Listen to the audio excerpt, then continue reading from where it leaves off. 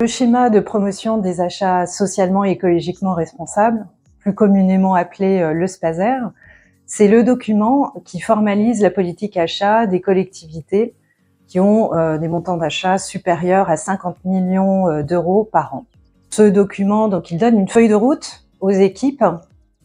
avec des objectifs pluriannuels et qui s'articulent sur trois axes principaux, un axe environnemental, un axe social et un axe économique. Le SPASER n'est pas uniquement un outil de pilotage en interne, c'est aussi un élément qui permet aux collectivités de communiquer sur la trajectoire euh, choisie et d'en rendre compte, bah, notamment aux citoyens, puisque les indicateurs d'avancement doivent être publiés au minimum tous les deux ans.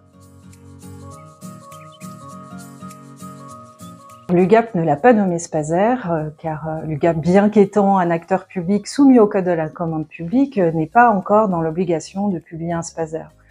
Pour autant, sa politique d'achat, qui a été formalisée en 2022 dans un document cadre qui s'intitule Stratégie RSE 2025, à tout d'un spazer. On y retrouve dedans euh, les axes principaux que sont donc euh, la transition écologique, euh, l'achat inclusif, le développement économique, notamment vers les PME et le secteur de l'ESS, avec des objectifs pluriannuels et des indicateurs qui sont publiés par l'établissement chaque année.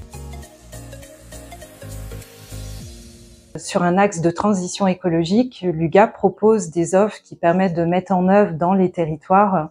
des politiques d'efficacité énergétique, de mobilité euh, active ou de décarbonation des transports. L'UGAP est en capacité de restituer un certain nombre de données à ses clients. Par exemple, ça va être de savoir euh, quelle PME cela a fait travailler, euh, quels achats ils ont réalisés auprès de l'UGAP et qui rentrent dans le cadre de l'article 58 de la loi AGEC, ou encore savoir quel est le nombre d'heures d'insertion professionnelle euh, qui ont été réalisées euh, grâce à leurs achats.